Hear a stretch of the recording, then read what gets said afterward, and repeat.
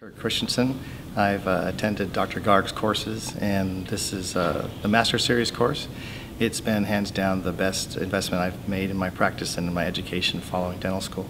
Um, not only from a financial perspective, but also from enjoyment of from, uh, my profession, and also for my patients who really enjoy being able to have the person who's restoring the implants also be the one who's placing them, so that uh, there's no confusion uh, between the surgeon and the dentist, and also so things go quicker and smoother.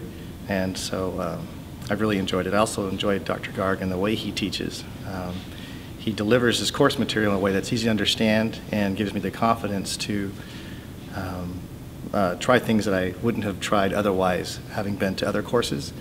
Um, he distills the science down uh, so that, and provides references so that it's understandable but also applicable uh, otherwise, with other courses, I've gotten sort of bogged down in the science and haven't really had a way to apply it to what I was doing. And so Dr. Garg's courses have helped me with that. So I've really enjoyed it, and I look forward to going to the Dominican Republic, and I'll be doing that in November. It's been great. Thanks, Dr. Garg.